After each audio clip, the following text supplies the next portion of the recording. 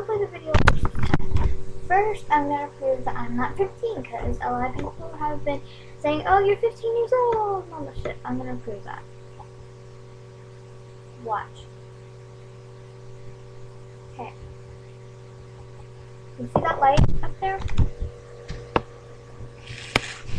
Reach it, idiot. Like if I was 15, I'd be able to do it, but I can hardly reach it unless I extend my hand. If I'm extending it, I can't even reach it. But if I extend it and zip my finger, I can reach it. I'm almost like a Second of all, my fucking dad is dead. Like, really annoying. Um, I don't know what people saying he is, but he's not. Yeah, pretty much it. Bye.